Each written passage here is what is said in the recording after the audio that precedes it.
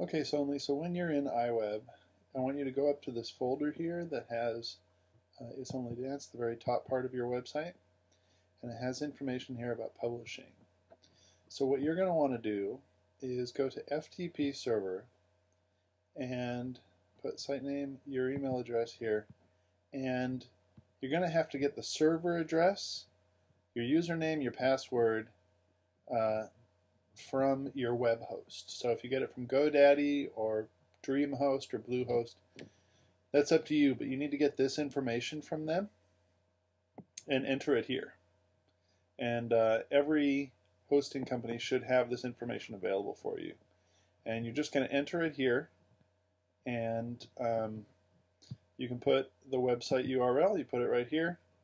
And once you do that, you should be able to go uh, publish entire site like this.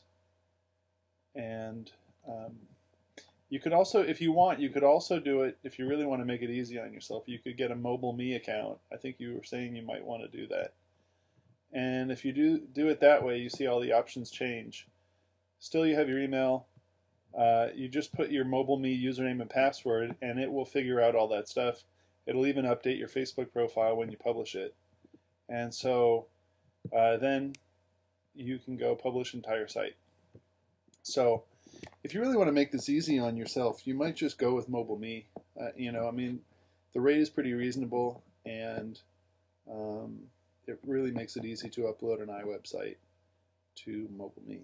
So uh, that's what I think might be the best option. And then you should be in, in business. Okay.